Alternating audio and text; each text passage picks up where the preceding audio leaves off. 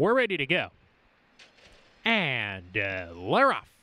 Another good break for the Golden Gate Fields gate crew as the field is sent on their way. And Path to Paradise gets the first call in this race. Mr. Artistic not far off, and Path to Paradise easing off the pace. Here's comes Mr. Artistic to be part of that pace with Rich Warrior. Path to Paradise holds the inside. He wants to be part of the action on the lead, and Philippi Fast is four deep, and he's going to come and pass them all in the first quarter mile and swinging up the backside. It's Philippi Fast who goes on with it and takes control of things, leads by three quarters of a length. Mr. Artistic back in second. Rich Warrior also on a hold. He's adjoined second. Path to Paradise is back in the fourth spot between horses now. Eagle in the skies tugging a bit. So is Dreamed It off the pace within three and a half lengths of the lead. Alarming Moment is with him in a space of four. Two of the two trailers, Wild Wager and Sugar Beets, but they have a pretty fast pace to chase here for the level and the Tapeta surface. They hit the four turn run. Philippi Fast still clear on the lead. Gets over to the rail as he hits the four turn run. A length and a half in front of Rich Warrior sent after the leader from second. Mr. Artistic under a little pressure.